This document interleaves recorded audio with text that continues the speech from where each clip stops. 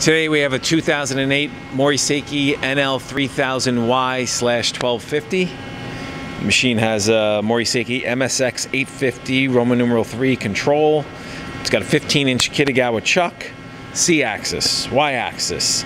It's got a Rebel 102 servo bar feeder, tailstock, chip conveyor, parts catcher, and a tail setter. A tail, yes, a tool setter, not tail setter, tool setter. Uh, it's running at 250.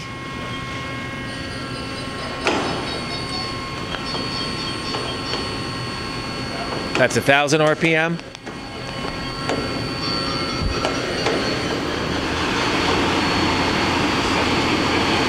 Seventeen fifty.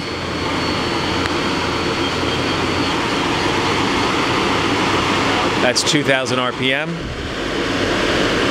Machine maxes out at 3,000 RPM.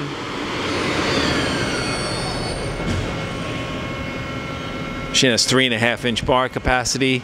Now we're moving the turret. Hear a little sheet metal noise there.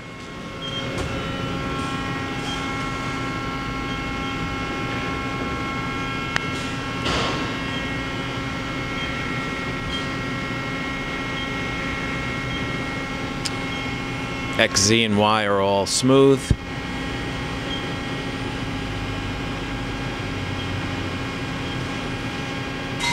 Here comes the tailstock.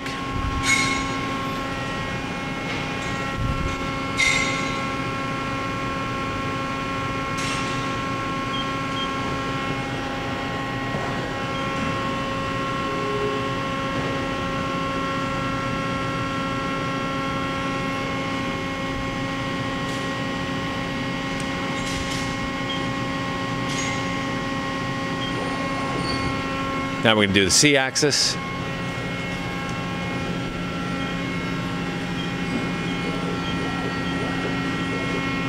Got a full C.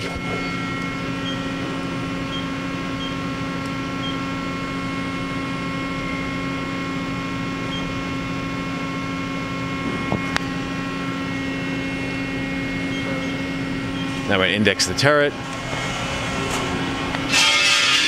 Machine comes with uh, all the tool holders mounted to the turret, which includes three live tools.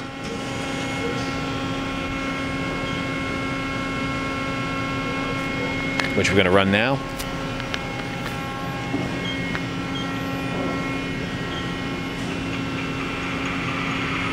It's 1100 RPM on the live tool.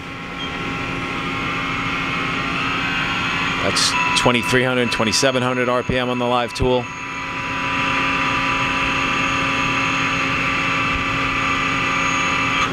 All right.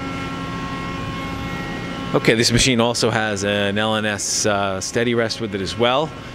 You can inspect this machine under power in our Harrison, New Jersey warehouse.